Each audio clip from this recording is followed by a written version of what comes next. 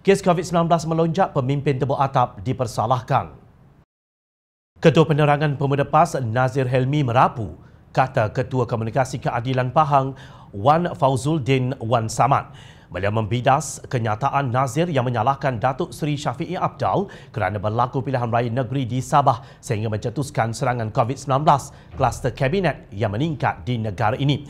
Beliau tahu atau tidak bahawa berbulan sebelum pilihan raya negeri Sabah, terdapat beberapa menteri dari Kerajaan Perikatan Nasional telah datang ke Sabah bagi tujuan jual beli ahli Dewan Undangan Negeri Sabah. Soalnya dalam satu kenyataan, Wan Fauzuldin berpendapat pemimpin Perikatan Nasional tidak peduli tentang COVID-19 pada ketika itu. Apa yang mereka mahu adalah merampas kuasa dari Syafi'i Abdal. Akhirnya, beberapa katak berjaya dibeli tetapi bilangannya tidak cukup atau kuat untuk mengambil alih kerajaan negeri di bawah warisan. Katak tetap katak dan bila-bila masa akan melompat untuk cari makan.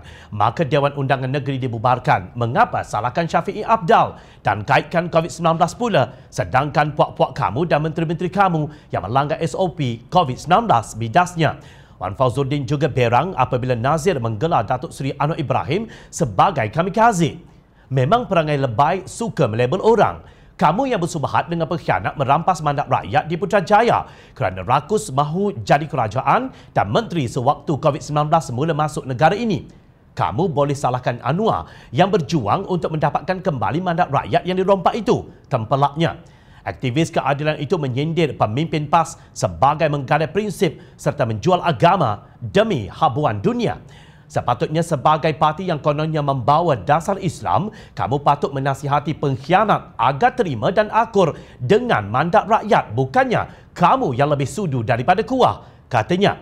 Sementara itu, penyokong kuat Datuk Seri Najib Razak, Datuk Lokman Nur Adam mendakwa Tan Sri Muhyiddin Yassin dan Menteri Dalam Negeri Datuk Seri Hamzah Zainuddin bertanggungjawab apabila kes COVID-19 meningkat secara mendadak. Lokman berkata tindakan mereka berdua yang mahu merampas kerajaan negeri Sabah menyebabkan Syafi'i Abdal memohon Yang di-Pertua Negeri Sabah membubarkan Dewan Negeri Sabah. Dua manusia inilah yang melakukan gerakan merampas kerajaan negeri Sabah daripada tangan warisan. Akibatnya berlakulah kluster Sabah katanya dalam satu temubual di Facebooknya baru-baru ini. Menurut beliau sepatutnya semua yang berusaha merampas kerajaan negeri Sabah haruslah bertanggungjawab. Ini termasuk Tan Sri Musa Aman. Orang yang celik bacaan politiknya dapat melihat bahawa apa yang Syafi'i Abdul lakukan adalah menyerahkan kembali kepada rakyat untuk memilih kerajaan. Justru adakah PAS boleh mensucikan dirinya daripada terpalit dalam kes COVID-19 yang mencanak naik ini? Sama sekali tidak. PAS merupakan sebahagian daripada gerombolan yang terlibat dalam kerja tebuk atap menerusi langkah syaratan ketika negara sedang berhadapan dengan serangan COVID-19. Dalam perutusan khas kemarin, Muhyiddin mengakui kempen pilihan raya di negeri Sabah menjadi antara punca peningkatan kes COVID-19. Namun punca sebenarnya ialah kerakusan pemimpin Perikatan Nasional yang mahu memperluaskan kuasa mereka dalam negeri-negeri di Malaysia.